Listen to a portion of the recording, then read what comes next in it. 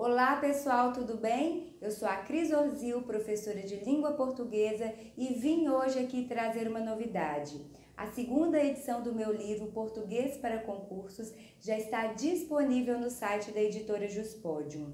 Neste livro você encontra a parte de gramática com exercícios comentados, com várias polêmicas, com vários adendos Encontra também mais de mil exercícios divididos por assunto para treino. Há também a parte de interpretação de textos e semântica, redação discursiva e redação oficial com base no novo Manual de Redação da Presidência da República. São quase 800 páginas de muita língua portuguesa. Eu aguardo a leitura de vocês. Mua!